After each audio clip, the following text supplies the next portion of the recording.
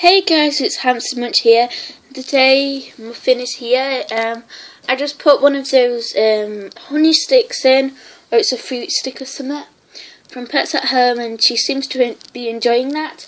Um, outside it's very bright, so yeah. Um, and I have really big news. I'm not sure if you can tell, but I've reached 40 subscribers. So if you watched my other video, you would probably tell that when I, I said that when I would reach 40 subscribers, then I would do a contest. So yeah, I'm doing a contest, and I will upload a video after on what like I'll upload a video like tomorrow or something on Friday. What you would like um, need to do to enter the contest.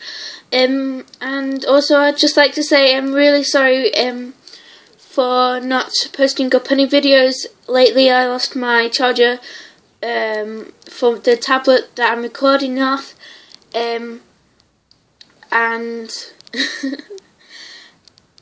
and my camera cannot be fixed, so we need to get it sent off to get like fixed then.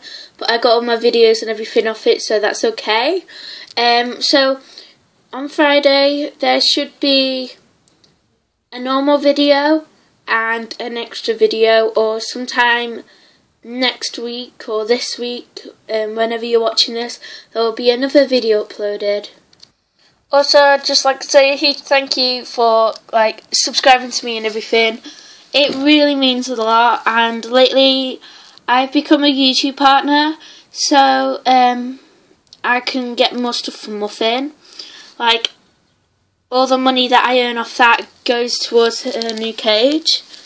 Um, do you want to come? You coming? Um, so all the money off that will go to a new cage, which is currently £90 on Pets at Home. The potty litter that was on Pets at Home, I read some reviews, and that wasn't very good.